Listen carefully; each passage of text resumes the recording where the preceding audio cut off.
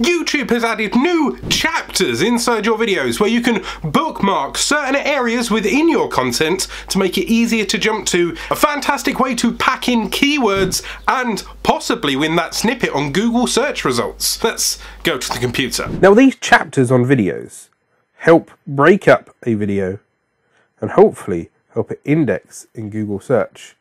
As you will see, each one of them have a mini subheading and a scrollable bar along the bottom.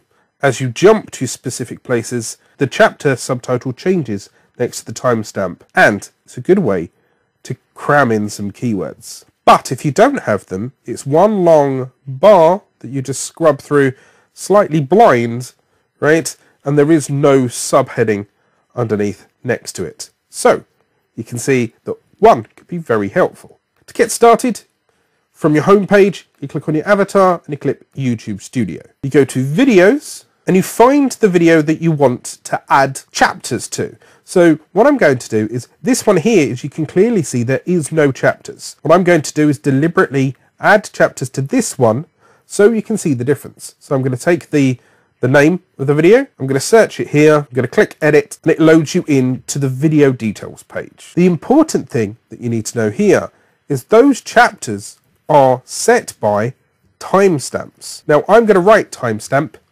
here, but you don't have to. The most important thing is starting the timestamps from 000. So your next step is use the mini player here.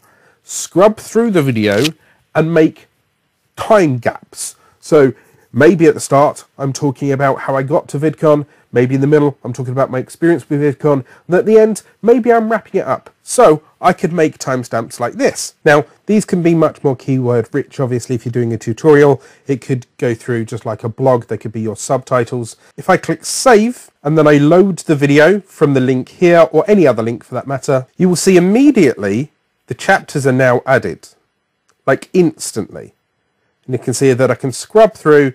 Each one's got a mini subheading, and it's ready for you. Compared to the original one, which once again didn't have those chapters. For more help with YouTube features, there's a playlist here. Or if you want to know how to self-certify your YouTube videos as safe for ads on YouTube, there's a video here.